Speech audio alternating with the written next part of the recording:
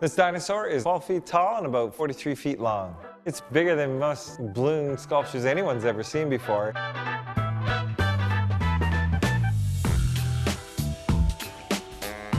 My name is Mark Verge and I'm a balloon artist. I entertain children, adults sometimes, and I make uh, balloon animals for little kids. A little seahorse, teddy bear in a tree, a fish on a rod. I also sculpt. I like making big sculptures. In the past, I've been very fortunate to win six world competitions.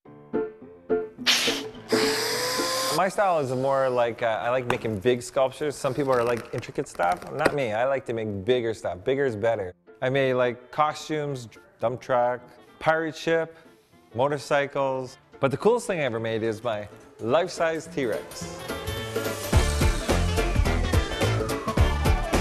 This dinosaur is about 12 feet tall and about 43 feet long. It's about uh, six, maybe 700 balloons total. This is one of the largest balloon dinosaurs ever made.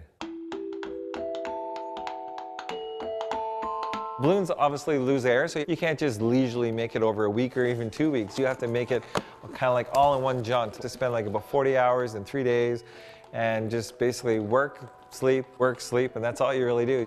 When I start the dinosaur, I start with uh, the vertebrae, and I start it here, and I go all the way through. This is a smaller balloon, and this is a little bit larger. So if you look at this, this is basically a whole bunch of these put together. And then the ribs, this is probably one of the more challenging parts of it because it's so large and you have to use multiple balloons to actually put it together. It would be impossible for this thing to stand on its own, so I use these lamp stands to hold it up. You can keep adding on to it. I can make it go high, go low, and you can pose it in any position you wish. A lot of times I will either go from an image or models of dinosaurs, so I like to make them as accurate as possible, almost exactly the same as you would see in a museum. We have the hip bone here, followed by the legs. This is a style called weaving where you twist it. It's much like making a basket.